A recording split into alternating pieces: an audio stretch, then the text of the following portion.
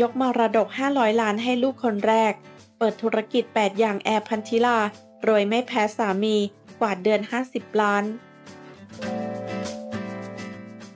นักแสดงพิธีกรสาว แอร์ ภัณฑิลาฟูกลิ่น เผยข่าวดีว่าท้องแล้วค่ะ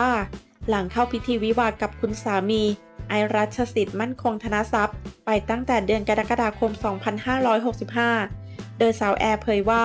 ตั้งแต่รู้ว่าจะมีชีวิตน้อยๆ เกิดขึ้นในท้อง เอาจริง ๆ ทั้งตื่นเต้น ทั้งกังวล ไม่รู้ว่าจะต้องทำตัวยังไง มีทั้งจังหวัดที่ทำงานเยอะ เดินเยอะจนเลือดออกฮอร์โมนสวิงนั่งร้องไห้ไม่หยุด แต่พอได้ยินเสียงหัวใจลูกน้ำตาก็ไหลออกมาทุกที ในที่สุดมันก็ผ่านมาได้ หนูขอขอบคุณจากหัวใจ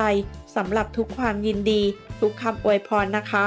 เปิดธุรกิจ 500 ล้านทำทุกอย่างที่ได้เงิน ซึ่งในคลิปเจ้าตัวระบุว่า ก่อนหน้านี้เคยขนของจากโรงเกลือมาขายกับเพื่อน เคยมีธุรกิจกว่า 18 ธุรกิจ แต่ปัจจุบันเหลืออยู่ 7-8 ธุรกิจ ก่อนจะพาไปดูโกดังสินค้าซึ่งเป็นธุรกิจแอปโซพัท มาทำเป็นผลิตภัณฑ์เครื่องใช้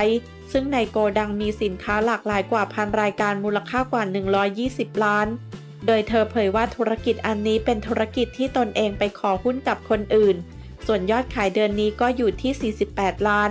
จากนั้นเจ้าตัวได้พาไปดูร้านดอกไม้ Flower by Air ที่เปิดมาแล้ว 10 ปี พร้อมระบุว่าเป็นงานที่เธอรัก และทำโดยไม่หวังกำไร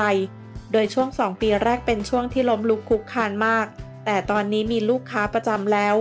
ทั้งนี้ในตอนแรกได้เปิดร้านที่เอสพนาด แต่พอหมดสัญญาเลยย้ายมาเปิดที่หลังร้านของคุณแม่ ซึ่งมีร้านอยู่แล้ว ส่วนธุรกิจของเธออื่นๆ ก็มีทั้งชุดว่ายน้ำ Beauty and the Beast ร้านขายกระเป๋าและรองเท้า bandy.bkk รวมถึงธุรกิจร้านทำเล็บทำผม Pink Alia Beauty by and Cafe แอร์ ภัณฑิลายังเป็นกรรมการบริษัทอีก 4 แห่ง 1. บริษัท Billionaire จำกัด รายได้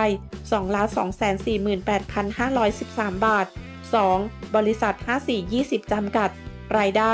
1,627,220 บาท 3. บริษัท On Air Time จำกัด รายได้ 335,841 บาท